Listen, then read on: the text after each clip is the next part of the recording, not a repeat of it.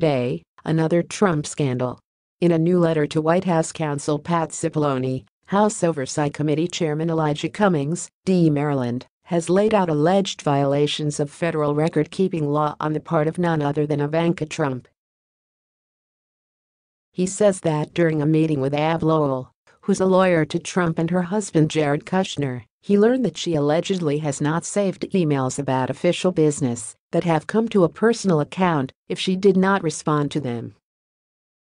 The Presidential Records Act demands that entire classes of written communication be preserved, not just some of them. Cummings wants information from the Trump team on their electronic communication practices, including how the number of emails dealing with official business on a personal account of Ivanka's relates to the number of those emails that have actually been preserved. The Ivanka email issue has been simmering for some time.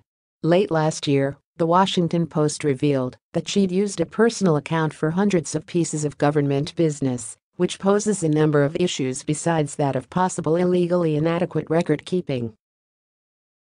To that end, Cummings also wants to know whether or not she transmitted any sensitive or classified information via her personal account, and the fact that there's even the possibility she did indicts the Trump team for hypocrisy yet again.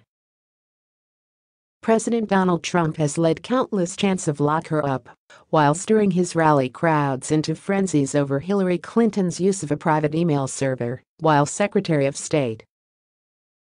The implication was that she'd endangered national security, even though years of investigation did not produce a single criminal liability on her part.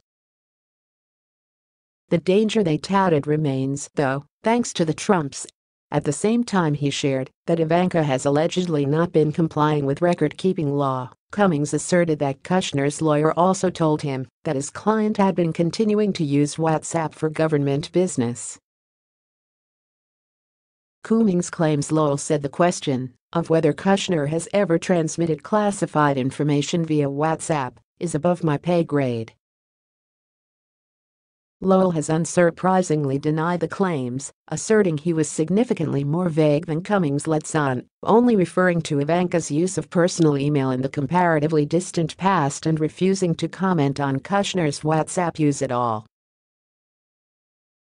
He did admit, though, that he suggested they approach the White House counsel for more answers, so if Lowell was trying to undercut the legitimacy of Cummings' latest quest, he failed. Cummings acknowledges that Lowell pointed him towards the White House, connecting the comment to his still-standing question of whether Kushner had been authorized to use a civilian messaging system for government business. Up until this point, the administration has refused to comply with Cummings' various inquiries, refusing to produce a single document or witness that they requested. Cummings has been seeking information on this issue since 2017 when he was the ranking member on the committee in light of House Democrats' minority status.